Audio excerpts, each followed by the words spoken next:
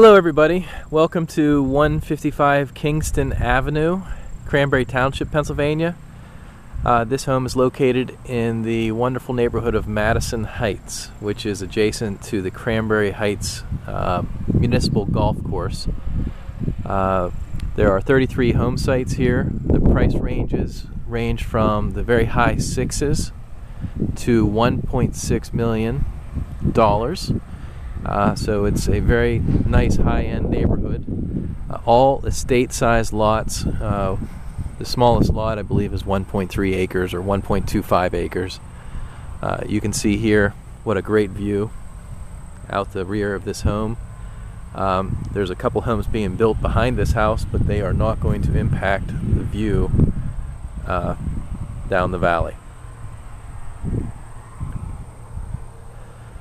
The yard is maintained perfectly, professionally landscaped. The home was built by Hurech Custom Homes a year ago, so in 2011. And uh, it is five bedrooms, four and a half baths, three car attached garage, and I'll take you inside